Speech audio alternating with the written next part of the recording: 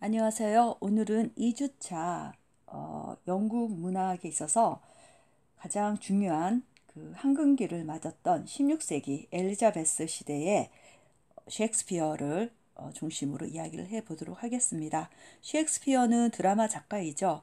어, 하지만 드라마 작가이기도 하지만 시인이기도 하였습니다. 그가 주로 쓴 시인은 바로 소넷인데요. 소넷을 중심으로 오늘 이 시간 엘리자베스 시대의 전반적인 문학적 흐름을 갖고 얘기하겠습니다. 그 이전에 우리는 그 엘리자베스 시대에 어떠한 어, 시대적인 사건이 있었는지 조금 다뤄보면서 어, 과연 그 유럽의 어떤 르네상스보다 조금 1세기 늦었지만 어, 엘리자베스 시대에 와서 여기서 말한 엘리자베스 에이지에 와서 르네상스 즉 영국의 르네상스가 도래했음을 어, 좀 알, 살펴보겠습니다. 자, 여기에서 나오는 헨리 7세가 나옵니다. 헨리 7세는 엘리자베스 여왕의 할아버지이죠. 음, 그 할아버지 시대에는 Wars of the Rose에서 그 장미가의 어떤 전쟁이 엄청 오랜 기간 동안 어, 굉장히 반목했죠. 서로 서로 막 싸움이 이루어졌는데 결국 랭카스터가 승리하는 그런 거로 해서 막을 내립니다. 그럼으로써 결국 우리가 알고 있는 튜더 왕조의 시작점이 되겠죠. 그때 랭카스터를 이기면서 투더 왕조의 어떤 어, 서문을 연 그런 어, 분이 바로 엘리자베스 여왕의 할아버지였습니다. 자, 우리가 이 엘리자베스 여왕 시대는 아시다시피 그 르네상스 어, 시기랑 또 뭐가 또 도래하냐면 Reformation이 나옵니다. 마틴 루터라는 어, 어, Reformation이라서 어떤 종교적인 새로운 어떤 어, 바람이 일어나고 있는 거죠. 그 다음 또 다른 또 Reformation이 나오는데 바로 뭐냐면 Roman Catholic이 아니라 영국 자체적으로 어, 어떤 국교회를 만들어내는 겁니다. 그가 그 장본인이 바로 헨리 8세이고요. 헨리 8세는 아마 좀 여성 편력이 굉장히 심해가지고 이혼할 수 없는 로만 캐톨릭 기본 종교적 개념하에서는 어, 이혼할 수 없거든요. 그래서 본인이 그런 이혼을 합리화하기 위해서 어, English Church라는 국교회라는 것을 새로 만들어내면서 거기에 장이 됩니다. 이러한 아주 일련의 사건들이 일어나고요. 그 다음 엘리자베스 여왕 시대의 가장 대표적인 거는 바로 어, 무적 함대라 불러주는 Invincible Armada라는 것을 대표하죠. 엄청나게 아주 격파시키면서 영국이 정말 어, 세계사에 아주 중요한 나라로 떠오르는 그런 나라가 되는 겁니다. 이 시대가 바로 어, 르네상스 시대라고 보시면 될 것 같습니다. 한번 보겠습니다. 르네상스의 가장 핵심은 인본 휴머니즘입니다. 우리가 바로 직전에 고대 영어를 배웠었고요. 그 다음에 중세를 배웠었죠. 중세가 15세기였어요, 여러분. 지금 우리가 Elizabethan Age라고 배우는 어, 엘리자베스 여왕 시대는 바로 16세기고 그 유명한 르네상스 시대라고 부르는 거죠. 근데 르네상스라 부르지 않고요. 이상하게 영미 그 문학사 공부를 하면은 반드시 Eliza- Elizabethan Age라는 표현을 꼭 씁니다. 또는 Elizabethan Literary Age 문학적 어, 시기 이렇게 표현하는데요. 그 안에 엘리자베스 시대에 도래했을 때 동시에 영국은 르네상스를 맞이합니다. 르네상스는 어, 중세 시대는 모든 것이 신중심 네, 세상이었다면 르네상스 시대에서는 인간 중심, 인간의 능력, 무한한 능력에 대한 가치를 두는 시절이라고 보시면 될 것 같습니다. 자, 한번 보겠습니다. 자, Great Growth of Interest in Art and Literature. 자, 여러분 아시다시피 먹고 사는 문제에서 예술이라든가 문학은 사실 제일 뒷전에 있는 겁니다. 문학과 예술이 발전했다는 것은 그 시대에 굉장히 문화적인 황금기, 또는 안정기였다는 뜻이에요. 어, 그런데 엘자베스 시대는 바로 그 유명한 문학과 예술의 발전이 있었던 음, 꽃을 피웠던 시기라고 보시면 될 것 같습니다. 음. 자 그런데 어, 14세기에서 15세기인데 유럽이죠. 어, 그 다음 다크 에이지가 고대, 아니 중세, 죄송합니다. 어, 중세 암흑기라 표현하는 게 바로 Dark Age라는 거죠. 결국 어, 이거는 어디에서부터 오냐면 어, 결국 Recovery of Greek and Roman Classics and Arts 음, 를 다시 recovery하는 그런 결과로서 나타난다고 보시면 될 것 같아요. 어, 그래서 다시 rebirth라는 의미로 르네상스라는 뜻이 되는 겁니다.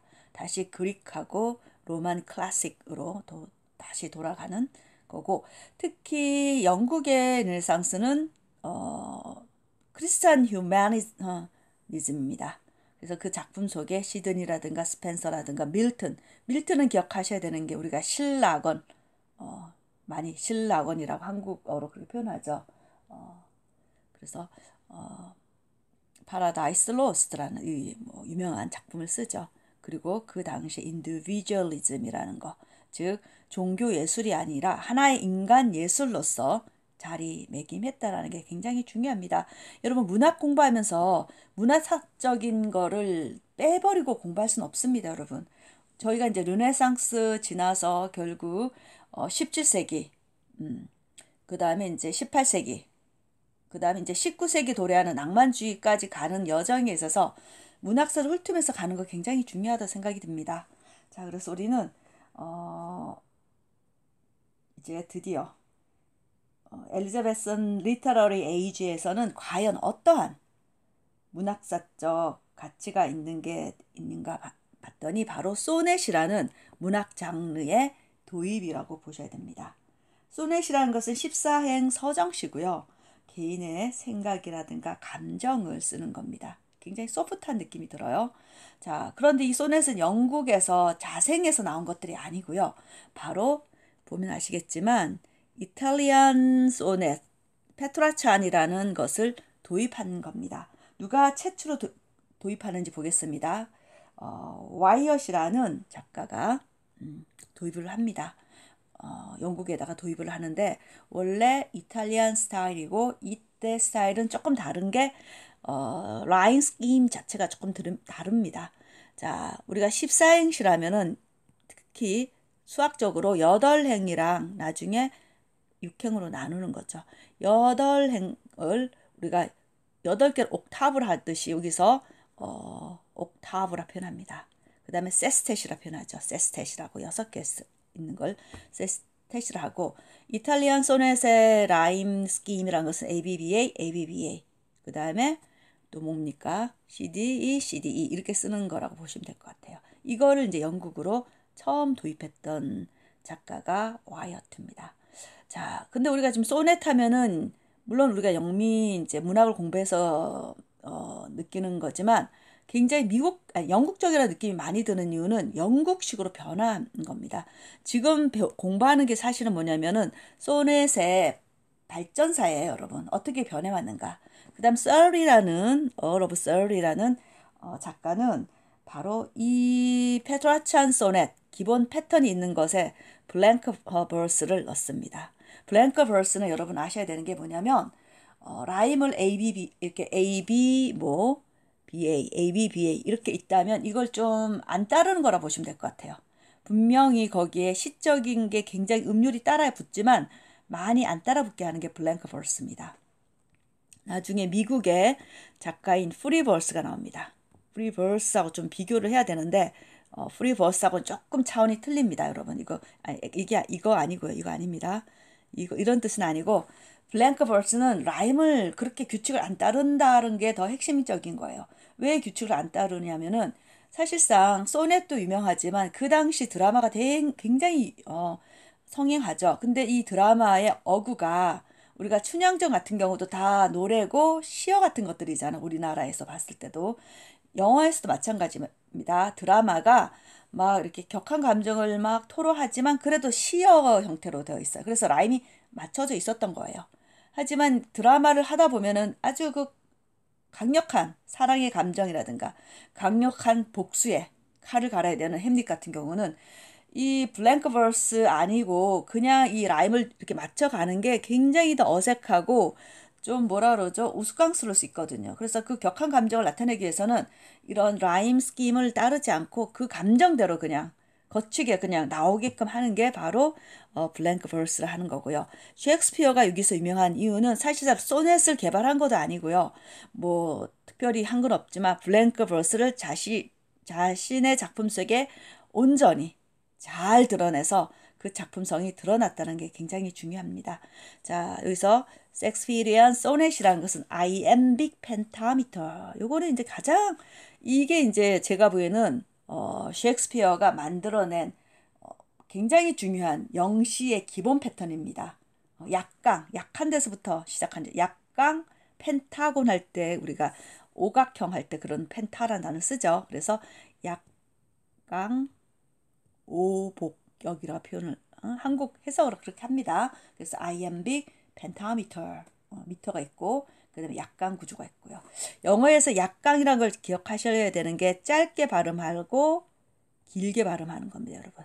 그래서 뭐 장단으로 표현 이렇게 하는 경우 있더라고. 약은 단이 되고 강은 장이 되는 거죠. 어, 같은 뜻이에요, 여러분. 다른 뜻이 아닙니다. 약하게 하는 건 짧게 표현하는 거고요. 강하게 표현하는 것은 영어적으로 길이감 있게 쭉 뽑아내면서 표현하는 거라고 보시면 될 것 같아요. 자, 그 다음 어, 펜타미터고 그 다음 커플릿으로 끝나는 거죠. 커플릿은 뒤에다가 끝에 GG 하는 게 커플릿입니다. 커플릿은 어, 18세기에 굉장히 또 성행하는 거죠. 이 커플릿이. 어, 세트 세트 딱딱 두 개 A A B B C C 하는 거. 그럼 그때 가서 또 공부를 하겠는데요. rhyme scheme이 되게 더 쉬워요. A B A B C D C D E F E F G G 또는 약간 변형. 이게 바로 어, 여기서 말은 어, Shakespearean sonnet인데 sonnet의 rhyme scheme인데 굉장히 많이 이걸 활용하고 있다는 게 되게 중요합니다. 자, 에드먼드 스펜서 한번 들어가 보도록 하겠습니다. Faerie Queene 나와 있습니다. Spenserian stanza인데 14행이 아니라 또 영국은요. 그러니까 영국을 떠나서 우리가 문학이든 예술이든 기본 틀이 있으면 나만의 것을 갖고 오지 않으면 평가를 받지 않는다 그랬었죠.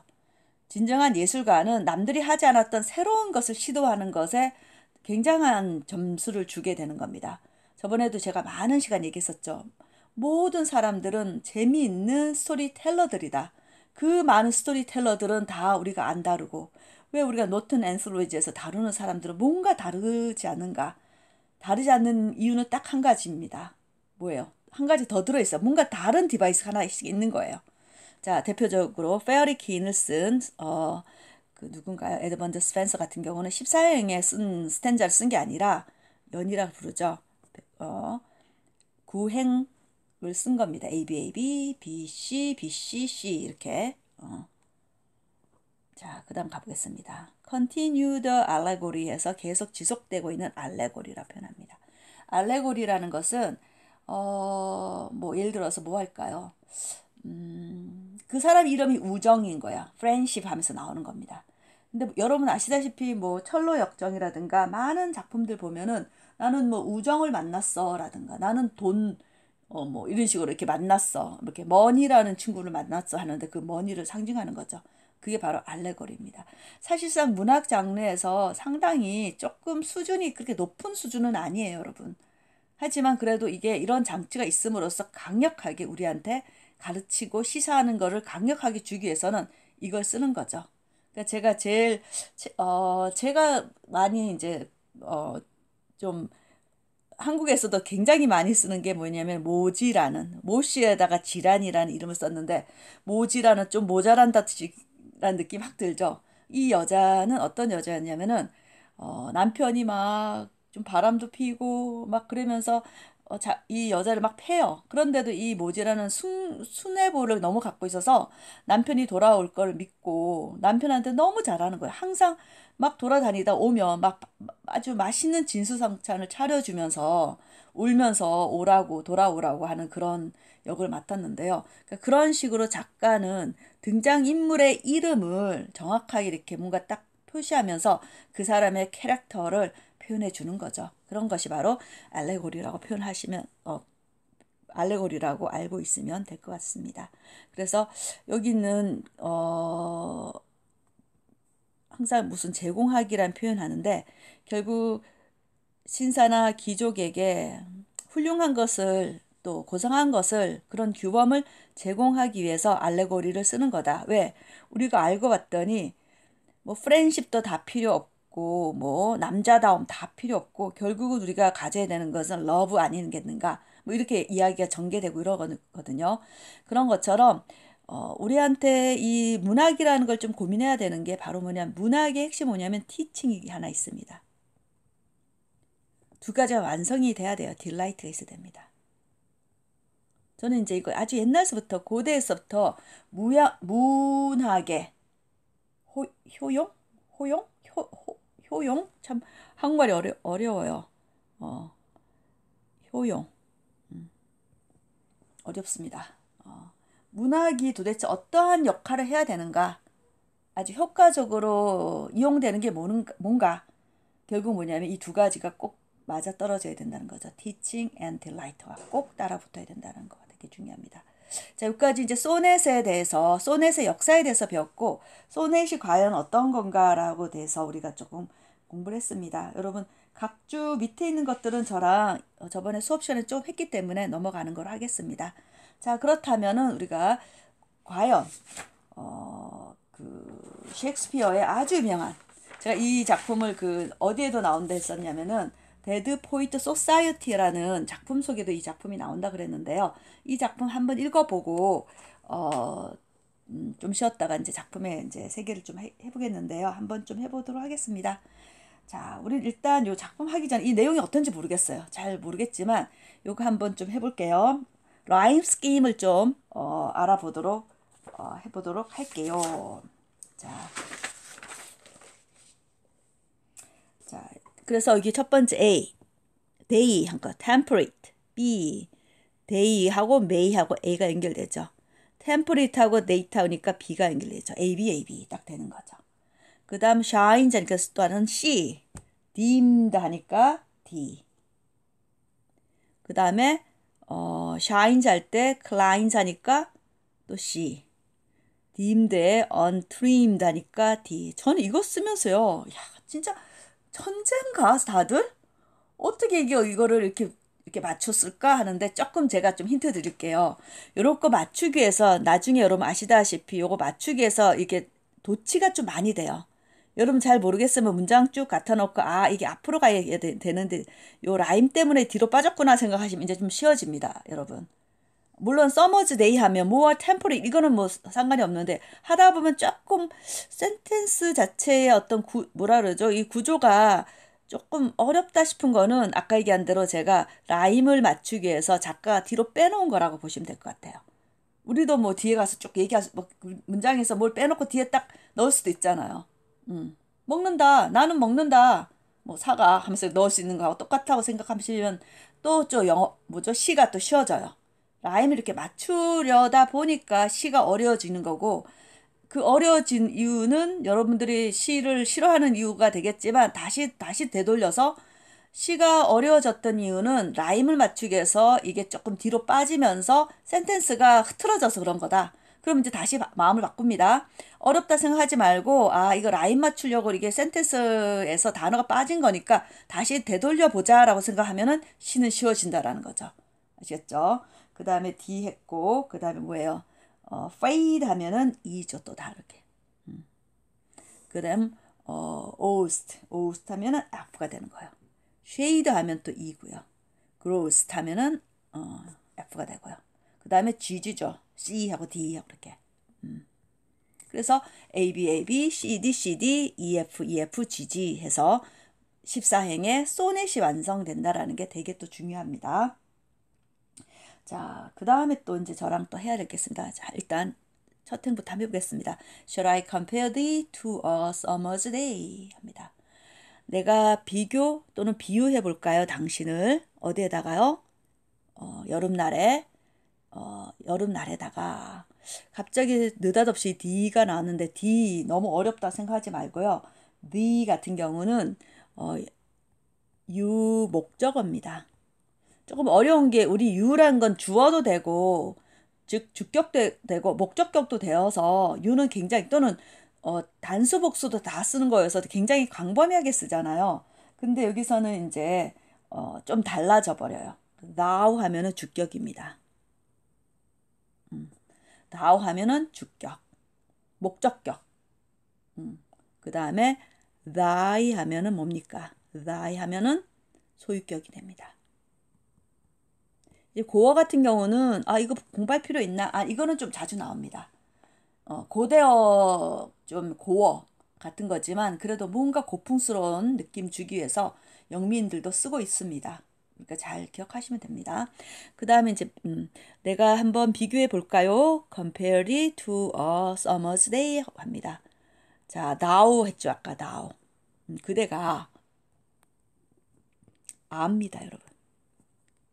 동사에 t 붙이는 게 또 유행이에요 이런 거. 이런 것도 여러분 갑자기 이 st가 붙었다고 생각하지 말고요. 이거는 owe라는 단어에다가 st 붙었다 생각하면 되고 이건 grow에다 단어에다가 st 붙은 거고 동사형이다 라고 생각해 주시면 됩니다. 그럼 이제 이걸 이해하면은 나중에는 엄청 더 쉬워지죠. 자, are more lovely and more temperate. 그대가 더 사랑스럽고 더 어때요? 어, 아주 어, 온화합니다. 음, 따뜻합니다. 더. 뭐. 자, 근데 갑자기 summer's day 하면은 우리의 여름을 생각하면 안 되고요. 우리가 너무너무 더워서 막 미칠 정도의 더위가 아니라 어, 영국은 좀 날씨가 우리보다 조금 뭐라 그러죠? 온화해요, 사실은. 그래서 여름날이 훨씬 더 우리 봄 날씨 같은 겁니다. 음. 자, rough winds do shake the darling birds of May. 근데 우리가 지금 여름날을 비교해 봤는데 여름날에 부는 바람이 거친 바람이 결국 5월에 어, 사랑스러운 그 어, 꽃봉오리를 흔들어 흔들어 적히고요. The summer's lease has all too short a day. 리스라는 게 우리가 뭐 빌리는 기간으로 기억합니다. 여름도 봄, 여름, 가을, 겨울에서 금방금방 그, 그, 그때만 차지하는 시간 있잖아요. 그래서 리스는 여름날 이렇게 해석해도 됩니다. 자, 여름날은 have, has가 have입니다. have, 음, all too short a day. 여름날 어때요? 어, 여름이 너무나도 짧습니다. 짧게 가졌습니다. 어, sometime too hot, 어, the eye of heaven shines. 너무 뭐 템퍼릿하지만 그래도 때때로 sometime, 음, sometime 어떤 때는 너무 뜨겁답니다. the eye of heaven. 요 덩어리가 하늘의 눈은 태양을 얘기하는 겁니다. 이렇게 이렇게 표현하는 거죠. 음. Eye of heaven shines. 그럼 이거를 더 자세하게 얘기하면 한유다 뭐 이렇게 얘기하면은 너무 여러분들이 힘들어서 그냥 차근차근 지금 나가는 거예요. 나중에 다 내, 내용 안에 이게 무슨 법이고 상징이고 뭐고 뭐 이렇게 다 나오는데 오늘은 그냥 편안하게 항상 처음 단계니까 소넷 공부하는 것도 힘드니까 다할 수는 없고요. 고, 요, 요거로 그냥 따라오세요. 자, 샤인. 그래서 하늘의 눈이 어, 너무나 뜨겁게 빛나고 있고요. And often is his gold complexion dimmed. 흐린 날도 있잖아요. 어, 금빛의 얼굴빛이 흐릿해지고요. 음, 자, 그래서 이 dimmed라고 나왔는데 사실 여기서 약간 바뀌는 구조가 약간 어, 스트럭처가 약간 바뀌는 이유가 바로 이런 거라고 보시면 될 겁니다. And every fair from fair sometimes declines.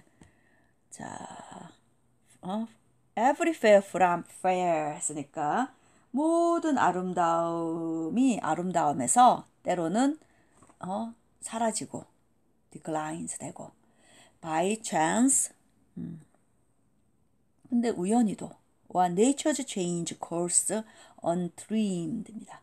음. 자, 자연의 변화 과정. 음, 그것도 어때? 꾸미지 않은 변화 과정. 그렇죠. 그냥 봄 되고, 여름 되고, 가을 되고, 겨울 되고, 꾸며서 되는 게 아니라 그냥 자연스럽게 되어 가는 거잖아요. 음. 자, 여기까지, 어, 우리가 넷, 다섯, 여섯, 일곱, 여덟. 굉장히 중요한 게 8행까지가 옥타브라 불렀습니다. 전개시키는 거예요. 내, 내 사랑을, 어, 여름날 한 비유해 볼까 하면서 여름날을 비교해 봤더니 뭐 좋은 거보다 나쁜 게 더 많은 느낌이 더 많이 드는 거야. 결국 뭐 디클라인 되고 딤 되고 어 샤인하지만 너무 뜨겁고 어 그다음 이제 but 들어갑니다. 하지만 thy eternal summer shall not fade. 그대의 영원한 여름날은 뭐예요? 시들지 않습니다. 음. 자, Noah lost possession of that fair you owe. 이렇게 you you owe. 당신이 소유한 그 아름다움을 결코 놓치지 않을 겁니다. Noah shall thus brag thou wandered in his shade. 그리고 좀 무서운 표현인데 죽음이 음, 약간 이게 알레고리 같죠. 죽음이라는 어떤 존재가 자랑하지 못할 겁니다. 그대가 그의 그림자 속에서 죽음의 그림자 속에서 서성인 어, 서성일 거라고 서성인다고 자랑하지 못할 겁니다. 자, 어떤 조건이 있습니다. When in eternal lines 영원한 라인 속에 어떤 to time 시간 어, 시간인데 시간 속으로 영원한 라인이 들어가는 거죠. 음. 자, thou grow. 음.